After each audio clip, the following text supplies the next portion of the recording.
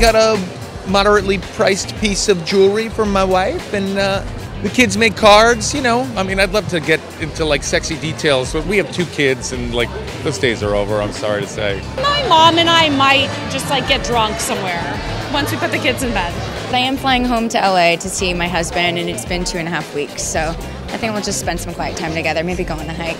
I think I'm going to dinner with some girlfriends. I think that's about what the plan is. We got a couple single Pringles, and I think we're to grab dinner, which is great.